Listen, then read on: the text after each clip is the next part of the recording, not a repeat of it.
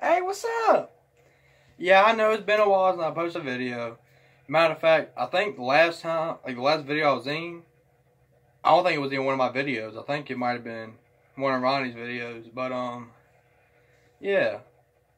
Now, in this video, it's going to be a short one because I don't want to take too much of your time. So, you know, during the summer, I actually planned on, you know, working a lot on YouTube.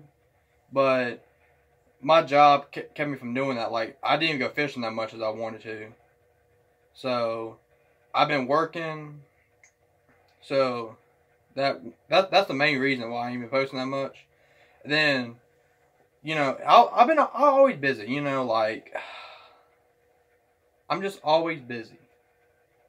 And um, I got this package today. I ordered on Amazon. And in case y'all wonder who my favorite driver is, it's the Sunday's Kansas winner, Chase Elliott. Speaking of Chase Elliott, yeah, this came in today. It's the 120, I mean, not 24, 164 diecast, my bad. And, um, it's the 24 Napa car. I, I, I should have wore the 24 shirt and hat, damn it. Um, but yeah, it, I mean, it did look a whole lot different from his car now. And now he got the number nine. as a different paint scheme.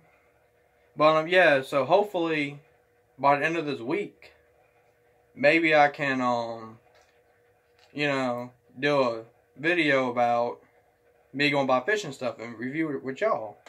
Now, in case y'all wondering how come we got Ronnie Carter's fishing, Logan's Carter fishing, then Cletus Carter. Well, because I kind of knew it from the beginning that